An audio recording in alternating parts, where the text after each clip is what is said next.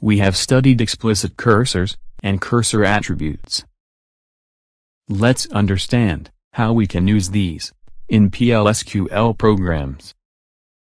Consider an employees table. Let's write a PLSQL block to fetch only employee names and department names, and display first five records, using cursors.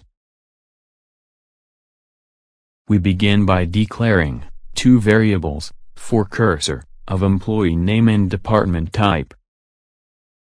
We then create a cursor, named EMP cursor, to hold employee names and department of employees table.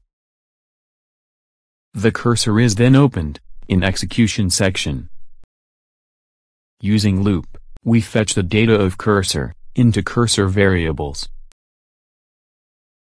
This is done, for first five records, of the table.